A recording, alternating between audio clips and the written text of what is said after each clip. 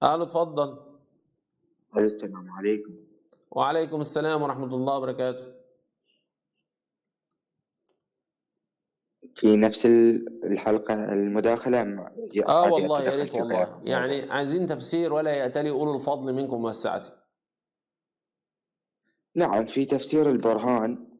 آه هذه آه الحديث 99 عن علي بن إبراهيم في رواية أبي الجارود عن أبي جعفر عليه السلام في لا لا قوله لا واحدة هذه واحدة واحدة الآية واحدة وهم واحدة واحدة. قول لنا السند كامل لو سمحت.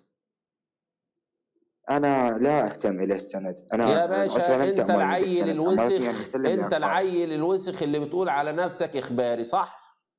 السباب الشتام الوسخ. لا أنا لست امشي يا وسخ. يلا يا وسخ. يلا يا وسخ. يلا يا وسخ. شفت بقى؟ يلا يا وسخ كمان مرة. عايزها تالت مرة ورابع مرة؟ امشي يا وسخ. يلا.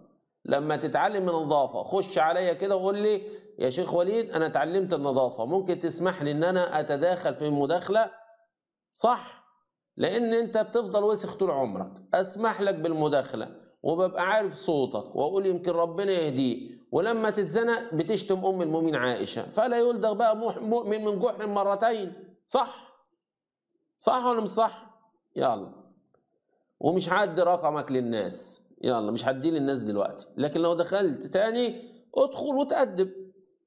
ادخل وتأدب. يعني ناقش نقاش علمي. لما تتزنق ما تشتمش. لأن أنا ما بشتمش. الله المستعان.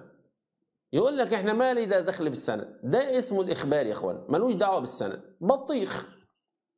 بطيخ. طب أنا أعرف منين إن الرواية ديت قالها النبي صلى الله عليه وسلم؟ أعرف منين إن الرواية دي قالها أهل البيت؟ في حاجة اسمها عن فلان عن أبي الجارود يعني اتنين في السند. اتنين في السند. ولا ده شاف ده ولا ده شاف ده. طب إزاي؟ لولا الاسناد لقال من شاء ما شاء. لولا الاسناد لقال من شاء ما شاء.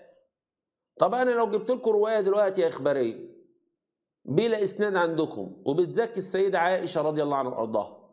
هتاخدوها ولا هترفضوها؟ ساعتها هترفضوها. يبقى المسألة أنتوا شغالين بالدماغ بقى.